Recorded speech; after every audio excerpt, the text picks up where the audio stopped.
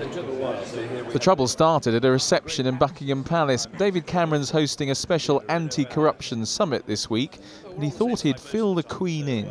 We've had a very successful cabinet meeting this morning. We uh, talk about our anti-corruption summit. We've got the Nigerians. The, we've actually got some leaders of some fantastically corrupt countries coming to Britain. No, Nigeria and Afghanistan, possibly the two most corrupt countries. This, he may think they're two of the most corrupt countries in the world, but they're also two governments he's invited to London. But this afternoon, Downing Street had this to say about the heads of those two governments.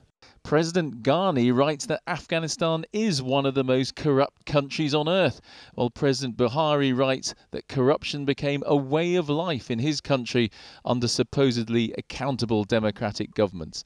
Both leaders have been invited to the summit because they are driving the fight against corruption in their countries.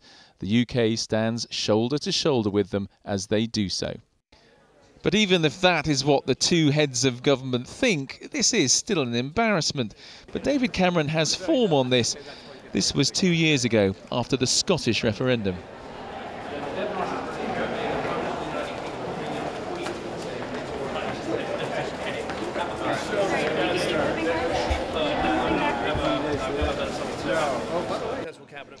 She's probably not purring now, and it's her Prime Minister who'll have to make a bit of a diplomatic effort with two of his guests.